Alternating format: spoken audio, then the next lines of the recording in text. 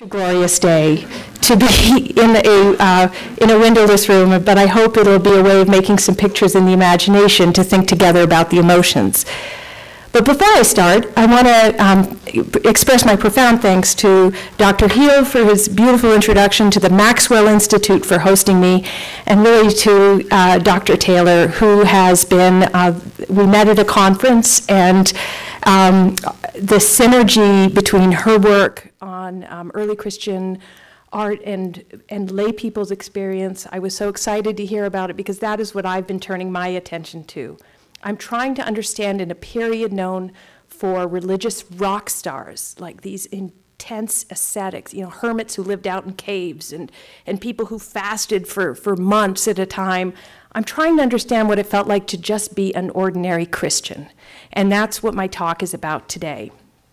So um, I'm going to, uh, not without emotion, we had a little uh, technical uh, moment. I'm not up, I'm, okay. it should, there it is, all right. Okay, you're going to have to bear with the, the just the, the clock at the top. Maybe that'll help you remind me. If you see me going on too long, just, just okay. All right. So, how did it feel to be Christian in late antiquity? The letters of the traveling missionary Paul or the prison diary of a North African martyr named Perpetua offer rare glimpses into the fears, joys, and even rage of some early Christians. Even so, the emotional landscapes of ordinary Christians are hard to access. To understand their fears, pity, joys, anger, and even disgust, we need to seek out those who, to, who sought to stir and shape emotions. Thus, I've focused in recent years on what sermons and songs can reveal about the emotions of those who first heard them.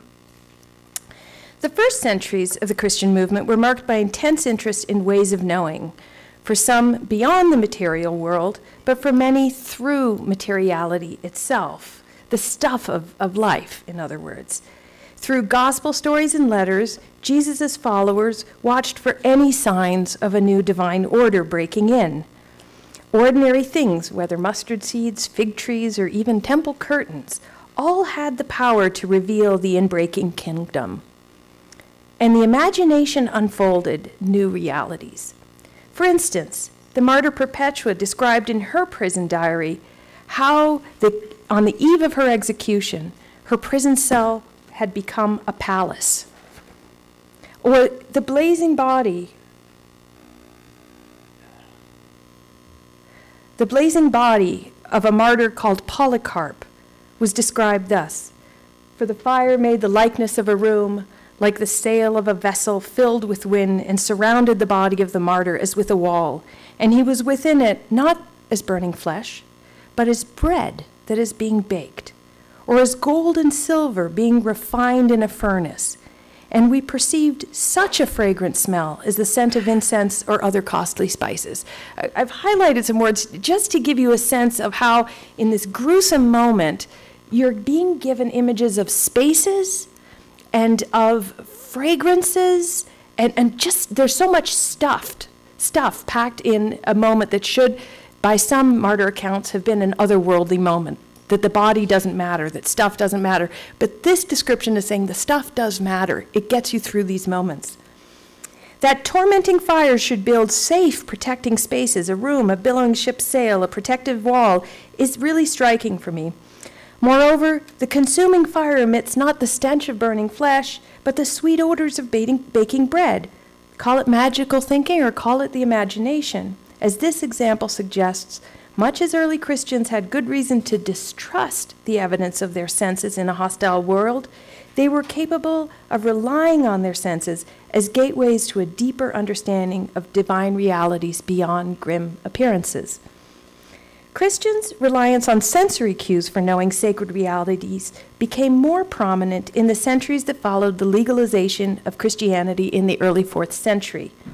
No longer facing the threat of persecution and now discovering a greater stake in this material world, early Christians developed religious practices that relied on their physical senses to perceive divine mysteries. They cultivated a set of interior senses now linked to physical perceptions. In Christian initiation, for example, perfumed oil was applied to specific parts of the body, first to the forehead, then the eyes, the nostrils, the mouth, the ears, breast, hands, and feet, while a corresponding scriptural passage was recited with each touch, as if to awaken each corresponding spiritual sense. In addition to this rite called chrismation, other rituals awaken the sensory imagination.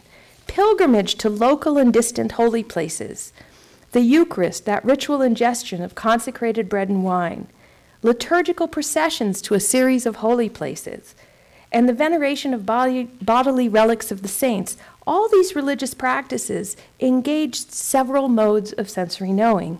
Christians learned to regard the material world as rife with self significance, and they staged encounters with the sacred past to pursue that. These material practices gave fuller expression to the doctrine of the incarnation, the belief that God became flesh in the person of Christ and thereby invested the material world with divine presence. So, how do emotions fit into this? The re education of perceptions I've been talking about took many forms. New Christians were taught not only what to see, but how to see their own rituals and how to feel about that.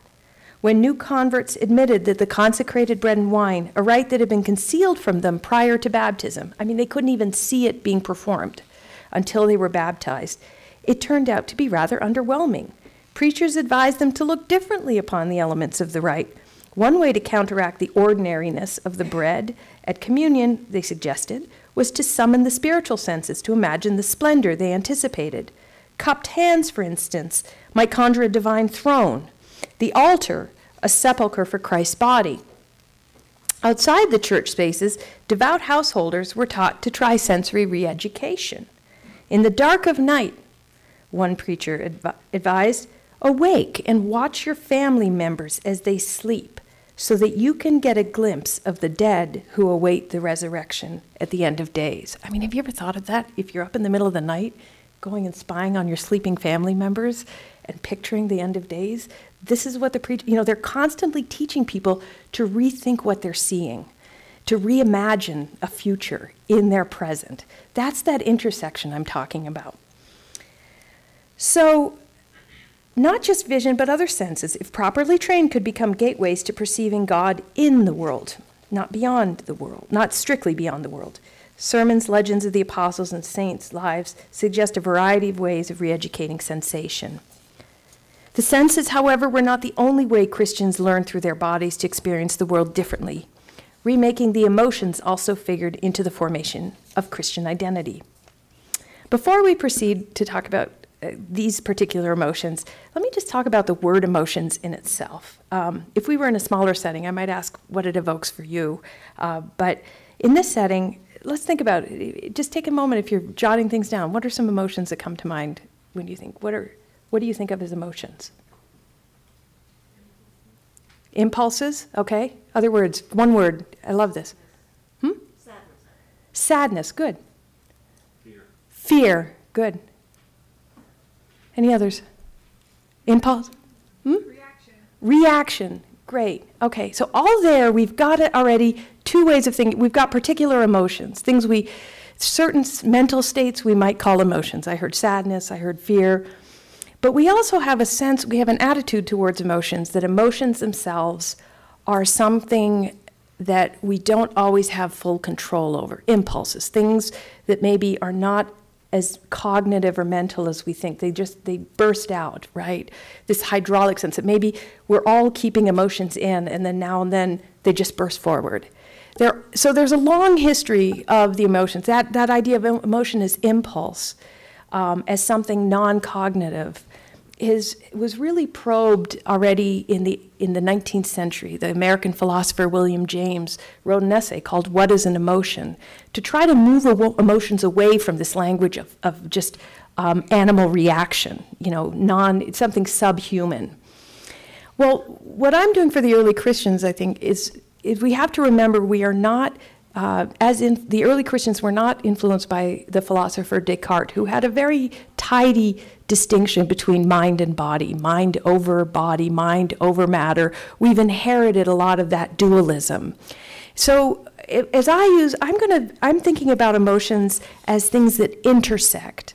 So yes, there's an impulsive side to emotions, but in that impulse, I think um, philosophers like Martha Nussbaum, who have really thought hard about, even in that impulse, we are making some kind of judgment. So I may lash out. At, I don't like to do it, but if I have to lash out at someone, I find it could be that something I valued has been really uh, violated or has been trampled upon. So, this idea is that even in our impulses, there's some kind of cognition going on. And that's what I want to think about the cognitive side of emotions. So, emotions such as joy or love, envy, pity, anger, they're cognitive and precognitive. They consist of mental activity, yet they also trigger, trigger physical symptoms. My racing heart, goosebumps, tensed muscles, and flushed cheeks could signal that I'm feeling fear or that I'm nervous being in front of a big crowd or whatever, uh, that I'm in love, maybe. You know, you never know. Yet, the emotion involved also comprises some forms of cognition. I may sense something harms my well being, that somehow threatens that which I hold dear my family, my community, my country. Um, unlike some psychological or philosophical schools which regarded the emotions as non rational, I approach emotions as consisting of judgments that are tied. Oh no. Oh, I'm sorry. I'm just going to. There we go. Um, okay. I'm, I'm a set of uh, ivories here with some, some emotional content I'll, I'll return to. Um, uh, emotions are, I approach emotions as consisting of judgment and are tied up in rationality. In addition to being cognitive and physiological, emotions also reflect one's historical and cultural context. So if you think of it like uh, in the in the epic of Homer, the Iliad, for example, a woman's shame might be bound up in the fate of her warrior husband. You might think of Andromache's poignant speech to the Trojan hero, Hec- Trojan hero, hero Hector, who's about to certainly die um, and leave her widowed. Yes, my, yet my own sense of shame may arise from a keen awareness of undeserved privilege more than any kind of undeserved slight. Uh, so these are very cultural activities, emotions. In short, our language for emotions is always provisional, sharing some physiological traits, but also upon closer examination, revealing deep cultural and historical attitudes and traces. So, at the very least, we can say emotions intersect both our inner life and our social life. They suffuse our being and our actions, our interactions, our perceptions. And little wonder then that we have so many words to convey those internal and external dimensions, their private and public manifestations. In English, think about it, we, we have words like feeling, passion, fervor, affect, sensibility, sentiment, appetite, changes of temper, these are just a few of examples of the words that have been bandied about. Some historians and psychologists distinguish between feelings and emotions as a way to maybe differentiate the interior cognitive states from bodily responses. Um, or for maybe um, emotions really entered our vocabulary not before the 18th century. So some people find emotions as a word is just anachronistic. It comes from this idea of movement, that something is moving out from, from within you. Um, but I'm going to put aside those, those conversations for now uh, because I just want to recall that I want to keep the somatic, the bodily, and the, and the cognitive together. That's what I think is going on in, this, in the early Christian world. So I follow um, a historian called Monique Scheer, who points out that too many semantic distinctions risks bifurcating emotions as these are bodily states and these are cognitive states. So I, like her, I'm going to use emotion and feeling um, interchangeably. As she claims, is an emotion is something we do and not just something we have. They are infused with intelli intelligence and judgment, in the words of Nussbaum. So one feels grief about someone or something, One feels joy towards some, someone or something, and so on. Emotions then are bound up in some perception of value.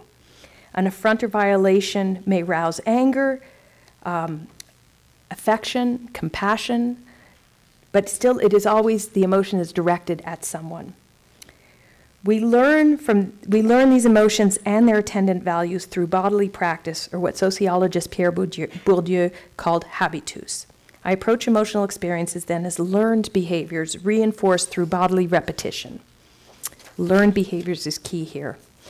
Like sense perception, emotions are also shaped by cultural, political, and social environments. Thus, it is appropriate to speak of emotional re education.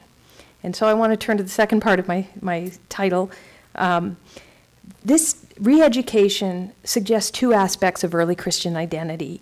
They're particularly salient. First, we are in a culture that was steeped in rhetorical education, by which young men, and some young women actually, learned, were taught how to give great speeches, how to stir emotions in others, how to persuade others through speeches, and when necessary, how to change oneself.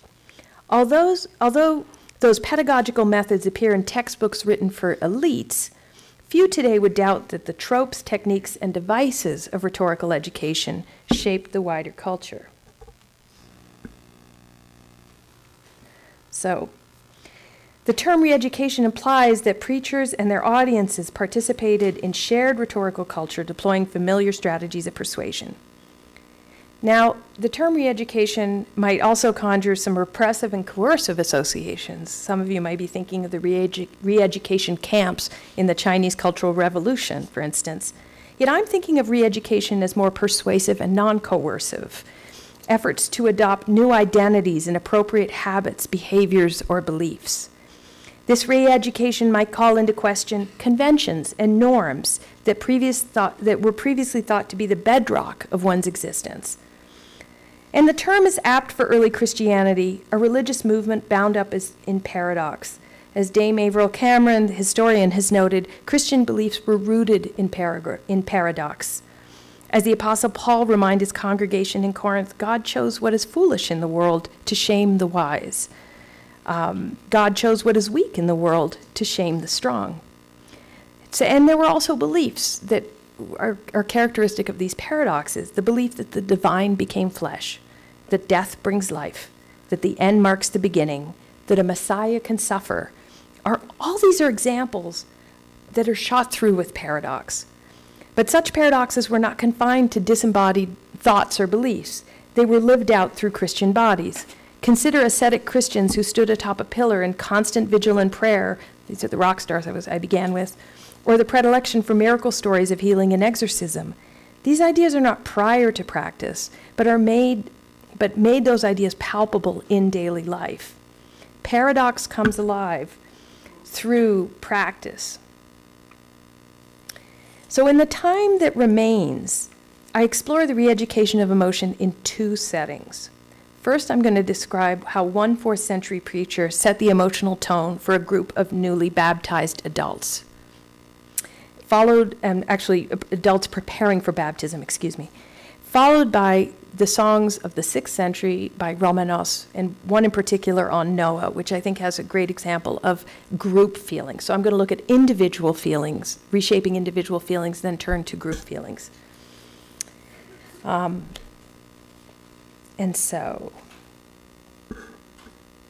So I, I, always love this phrase, and John Chrysostom, in around 388, gave a series of baptismal instructions.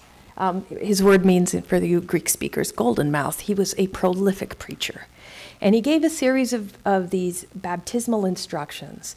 And his motto, one, the line I think is, that really captures is, let our life be strange and different. That was his advice. Let our life be strange and different. That idea of just seeing your existence with whole new eyes. That's what he really wanted to impart. And I think the emotions play a role in that. Um, elsewhere, I've talked about how he reworks the senses. I'm going to focus more on the emotions. The ritual re education of the emotions appears not surprisingly in instructions to adults preparing for Christian initiation. John Chrysostom delivered a particularly interesting series of catechetical instructions in Antioch around 388. Two surviving homilies were delivered during Lent a time of preparation for baptism at Easter. This sequence highlights the appropriate emotional registers involved. involved. Remember, in the fourth century, Christianity has only been legalized maybe one or two generations. And so you still have a lot of adults seeking conversion now. So it's not, we don't yet, this is not yet the age of infant baptism, as some Christian sects would have eventually. We're still really in a very adult phenomenon. The first sermon in the series, delivered some 30 days before Easter, sets the emotional tone. Quote, This is a time for joy and gladness of the Spirit, he says. He likens the mood to the joy one feels at a wedding, or, as he puts it, a military enlistment. There is joy in heaven and on earth, he says. The spiritual marriage has a handsome, this is a great sermon, because the spirit, there's this handsome, wealthy groom, uh, which is Christ, and the congregation is described as the bride, but she's described as a rather ugly bride uh, with a rather sordid past. So, so there's this idea of joy, but there's something always a little mixed in his view of emotions. I wanted to put a slide up of um, poor Fiona, you know, from Shrek. I just saw and her wedding dress. I thought that would be great, but um, I just want to find my slides again. There we go. Uh, so I spared you Fiona because I think actually Fiona was quite lovely in her own way, so I didn't want to cast her as an ugly bride. But anyway, uh, so um, her ugliness, though, I want to focus on that because the bride's ugliness um, and her sordid past is such a way to describe the congregation before him. Her ugliness, somewhat ironically, serves as a reminder of what you need to forget. Um, and so forget the past, forget your family, forget past shame and anger, grudges, jealousies, um, past actions. By forgetting all these passions, the way is cleared for instilling or acquiring charity and joy. So there's kind of a lot of mental housekeeping. You have to move some things out in order to clear the way for the right emotions. True joy, he says, requires the recognition of illusory joys. The preacher exhorts all to avoid the theater, for instance, notably the cruel pleasure of watching a fellow human being mangled by savage beasts. So the theater, he's not thinking here of Euripides, but really um, of kind of gladiatorial combat. Um, he says, uh, Are you not afraid? Do you, do you not shudder for fear that a thunderbolt might fall from on high and set your head ablaze? You, by your shouts, have a personal part in the murder if not by your hand, at least by your tongue. He shames his audience into recognizing how their own emotional energy as spectators is complicit in that brutality. He calls, he calls out um, that there is nothing passive about spectatorship, it has intense emotional engagement. He closes by urging the congregation to spend their days, as he puts it in quote, prayers and confessions, in reading and compunction the activities that permit re- emotional reattunement. In calling attention to their complicity, their complicity in negative and fierce emotions, Chrysostom sets before them the slow and deliberate work of shifting emotional registers. This is not a matter of just turning off, off the anger and the hate and flipping on the joy. It's about having set the tone with joy, the preacher mounts the forces to push away past hard emotions as ancient textbooks on the arts of memory already reminded them, forgetting is not simply a matter of hitting delete. And even those of us who hit delete today somehow know that somewhere out there in cyberspace, in social media, our past is always going to be there. Uh, it reminds us too painfully that nothing is ever permanently erased, and that was certainly the case for the ancient memory. One can try to bury it by overlaying it with stronger, more lasting memories, or in this case, emotions. Likewise, the preacher contends with the counterforces of emotions. Re education is less about deleting than about overlaying more lasting dispositions and clearing the emotional space for them. The next sermon, um, 10 days later by Chrysostom, finds the catechumens closer to the impending rite of actual baptism. In, few, in, the, in a few days, they would stand outside the baptistry, and once inside, they would be stripped anointed from head to toe with olive oil before facing west and rejecting Satan, the Lord of darkness, directly. As, and there, uh, we have all these quotes. I, I renounce you, Satan. I renounce you, Satan, and your pomp. I, there are all these formula that you're supposed to utter as if speaking to Satan. Following the renunciation of Satan, or apotaxis, this idea of disconnecting, um, the candidate turned and faced east to pledge her adhesion, or syntaxis, to Christ with the words, I enter into your service, O Christ. Following exorcisms, the power of God was called down upon the water, sometimes in the form of a thanksgiving prayer, and then came the immersion of the candidate three times. The candidate was dressed in a white garment and partook of the communion, the ritual ingestion of consecrated bread and wine. Chrysostom sets the stage by evoking the sensory richness of the rite. He contrasts the expectant um, initiand to Adam's tasting the forbidden fruit in paradise, the first couple's proximity to Eden after the expulsion. The interesting, John Chrysostom always emphasized that Adam and Eve, after they'd been kicked out of paradise, were kept just outside paradise, so they could see daily what they'd lost. This idea of east of Eden was like they were right outside the doors. Um, that man might see each hour, as he said, the joys of which he had deprived himself by his failure to obey.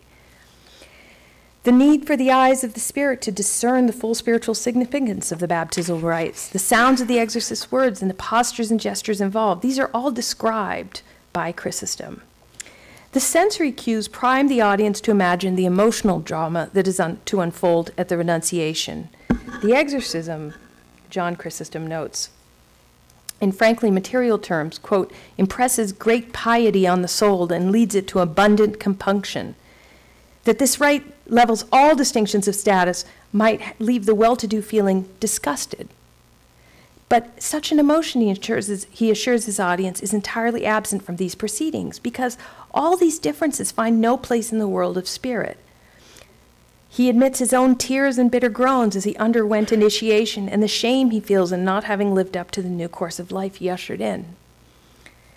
So we see here Chrysostom is kind of telling them what emotions they might expect. You might feel like, oh, if you're just treated the same as that slave next to you, uh, you might feel disgust in any other setting. As remember, Roman society, even every every arena, every theater always had different seating arrangements depending on your status in society. And here you brought with someone else. So this idea you won't feel disgust because the rites have un unlocked.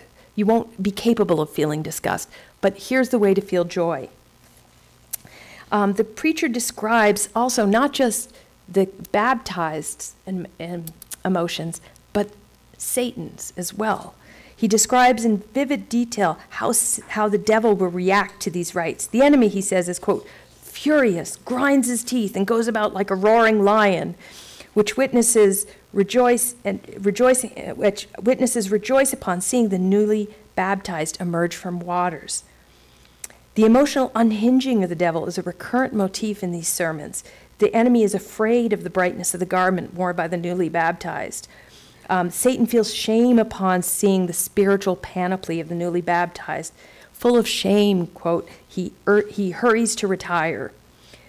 Eventually, by the sixth century, um, elsewhere I've written about how Satan starts getting to speak his piece and, and his anger. And so in, in later sermons, you have actually people making up speeches, what Satan would say when he saw you newly baptized.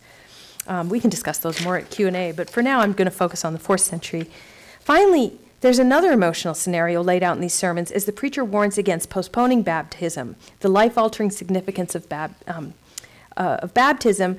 Because it really changed your entire life, you had to change your ways. Many people deferred baptism until their deathbed. And so he describes another kind of emotional scene. Think of the joy you're having today by being with us. And those who postpone the baptism are only surrounded by lament, by grief, by your family members weeping profusely. You find yourself, as he put it, in a thick cloud of despondency. So, what I've, what I've been describing are the, the power of the preacher to create these emotional word pictures, the vividness of Satan's fury, the, the, the sheer uh, the distraught family members at your own deathbed as you're experiencing emotion and so on. As these examples from Chrysostom's baptismal instructions demonstrate, baptism unleashed a host of emotional upheavals the pushing away of anger and envy to make space for joy, imagining fury of the defeated enemy, and the case of deathbed baptism, the lament and grief of the soon to be bereaved.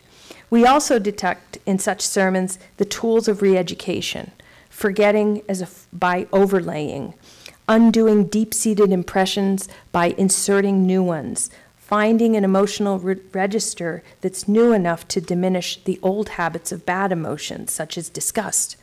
Re education of the emotion requires us to imagine a setting where um, the preacher used word pictures to set the scene and relied on vividness.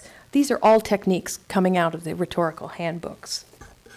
Having considered the impact of forgetting on the re education of emotions to counteract the palpable fury of the devil, it is worth noting that so far the emotional effort is really on the individual level. In individual level.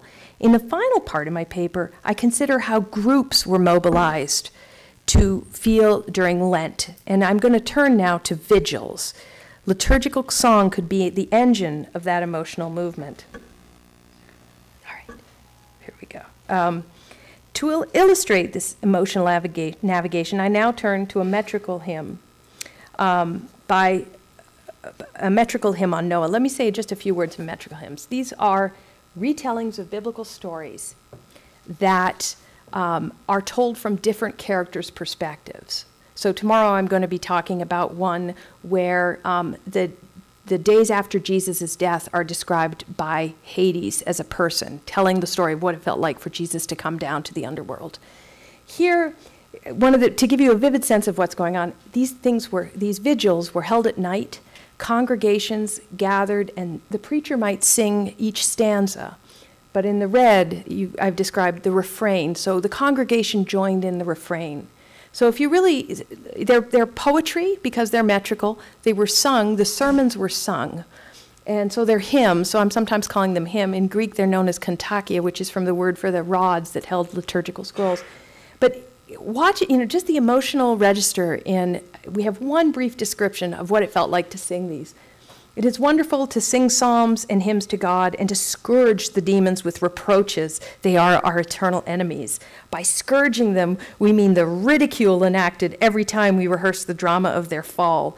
True pain grips, grips Satan whenever our church reproduce with fearful pity the triumph of the demons. Satan cannot touch a human unless God permits it. And the whole congregation joins in. He is the master of the universe it, this this refrain can also shift characters. It can take on different emotional registers. But I just want to give you a sense of what the, that the congregation is involved in this singing. So, to turn to Noah, uh, drowning out the damned.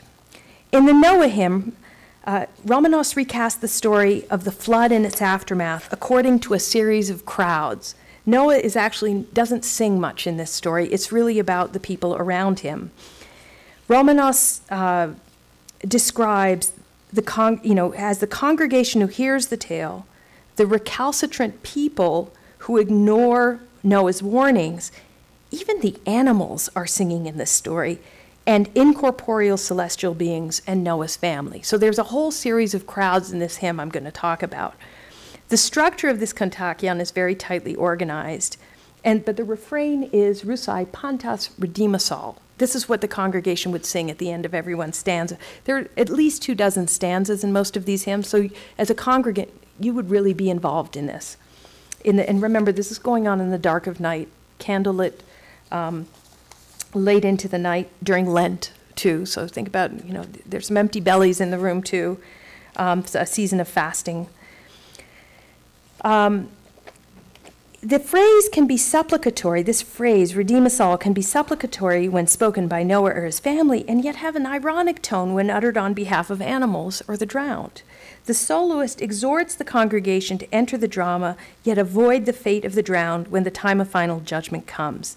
Yet the sinful people remain silent in their unrepentance. Noah implores them to weep bitterly and cry out to God, Redeem us all. But his words fall on deaf ears and prompt no response. God, however, hears Noah's prayer and assembles a crowd of beasts. Though wild and savage, they are capable of fearing the wrath of God. Thus, this menagerie both mimics and at the same time shames the people's unresponsiveness. Although speechless, the animals project a vision of the final days as wolves and sheep stand side by side, serpents mix with birds, yet even this silent chorus does not move the, those endowed with speech to utter their repentance or cry, Redeem us all. Giving up on the unrepentant, Noah and his family board the boat along with all the animals. And upon God's sealing of the vessel, Noah's voice alone utters the refrain, Redeem us all, having given up on those who refuse to hear him. The refrain persists through the storm, through the 40 days. It punctuates the, the description of the deluge, how the waves overtook the unrepentant who did not cry out, Redeem us all. Not only do animals serve as an alternative crowd, um, this is not an alternative fact, but an alternative crowd. Um, but co- incorporeal celestial beings also constitute a crowd in this story. As they await the return of the crow, in this story it's not a dove, Noah sent out, his family assumes the singing of the refrain. So the family's collective voice underscores the silence of the drowned, who did not cry out the refrain when they could, and now it is too late to cry out. As if to reinforce God's favor upon those who speak, Romanos mentions God's delight in recognizing his own image once again, so an allusion to uh, the creation of the first humans. The elect, rescued from the ravages of the storm, are capable of crying out the refrain, Redeem us all. So let us pause to consider. I've told you kind of the story. It's a story of different crowds getting to share in this refrain. So there's something ironic when you say, and they couldn't say, Redeem us all, and then those who can say, Redeem us all. But let's pause and think a little bit more about this performative setting. The, congr- the congregation sings the words that the unrepentant refuse to utter Redeem us all. The congregation fills the void left by the silent and eventually silenced crowd. They join with Noah's lone voice um, they join with Noah's lone voice and ironically sing counterfactually. By counterfactual, I mean simply that the damned could have spoken these words and saved themselves. Yet the chorus sustains the song, and that should come as no surprise, for the chorus stands for the children of the baptismal font. The word echoes the pool or where they underwent their baptism. And the hymn bears several echoes of their baptismal experience. There's the term for pool to connote the font. The ark is described in language reminiscent of death and rebirth imagery associated with baptism. So the ark is itself a womb and a tomb, all of which call to remind the congregations of its own baptisms. So Romanos performatively has constructed a drama which mobilizes the congregation to sing when the unrepentant fall silent, join the collective voice to the solitary exemplar, and speak with the saved. The congregation furnishes the voices of the lost, and the refrain here serves as the key to salvation, even if those who need it most are incapable of uttering it in the story. Um, I have focused on the refrain because I think that Noah, um, it, is, it is the tool by which to differentiate the saved from the damned in a hymn about divine judgment, past and future. So, to provide, one might say, a sonorous home for the elect. The refrain instills order, even as the voices of the damned gurgle down into the depths of the waters. In this way, Lent began with wholesale destruction and mass repentance, as described by the silenced and the saved. And through these victories, and through these victories, um, sorry, uh, the, in, the refrain was instrumental for repairing the breach as congregations sang from both sides of the chasm. They affirmed as others denied, they spoke where others fell silent. Populating these stories allowed the hymnographer Romanos to create an emotional echo chamber by which emotions could be voiced, echoed, and become contagious. Through repetition and singing, the congregation were engaged in what Scheer calls, quote, emotional practices, mobilizing, naming, communicating, and regulating emotion, end quote. In other words, the congregation is not the sum of individuals, but constituted and even mobilized into an embodied crowd. Invented speech names the emotions pity, fear, grief, and communicates their import about what's at stake. So, emotion or affect, and this is a, a slide of the ascension. I just, even early Christians, this, this story about Jesus ascending to heaven, you know, he's actually, it's like he's climbing the Y, up to the Y, right? Uh, he said, you know, I just, I was, I'm so blown away by the mountains around here. But notice the fear of his disciples, the grief in the lower right of the women at the empty tomb and count in the, this mix of emotions. When early christians thought about the emotions it was always a very mixed set of emotions. Are, is, is grief and fear an appropriate emotion for the ascension? Romanos has a song where he actually deals with this that the psalms are psalms of joy that are being echoed as the disciples eh, describe their fear. So i just want to use this as kind of a closing image for this talk Emotion or affect, in the words of cultural critic Sara Ahmed, quote, is what sticks or what sustains or preserves the connection between ideas, values, and objects. I have explored a few of those sticky places in early Christian practices that shape the formation of identity through affective and affecting storytelling.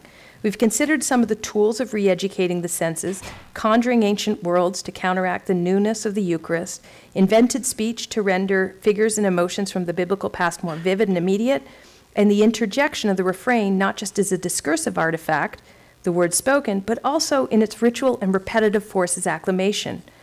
As Roman historian Gregory Aldrete has noted, acclamations took several forms. In addition to greetings, there were acclamations of praise, reactive acclamations, acclamations of criticism or petition.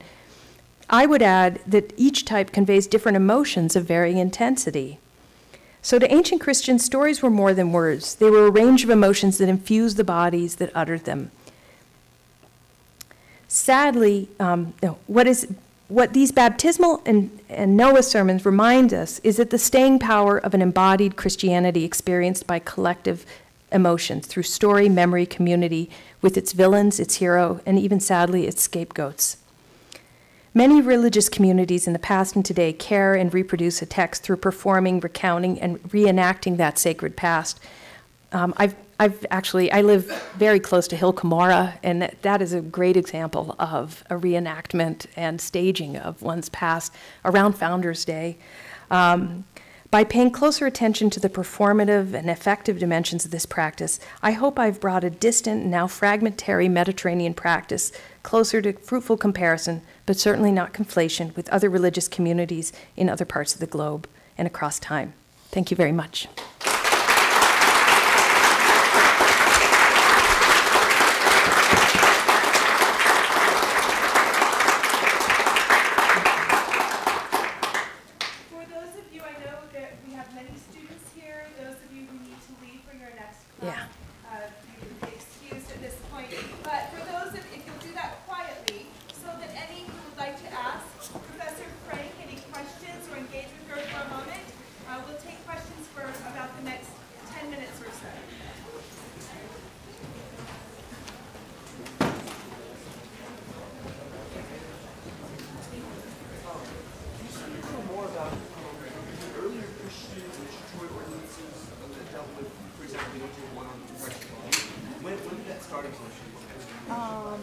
Do you want, do you want me to ask? It's a great question. Can you stick around or do you have to leave? Um, I have to leave in about five minutes. Stick around. I'll give you a question first. Yeah, yeah.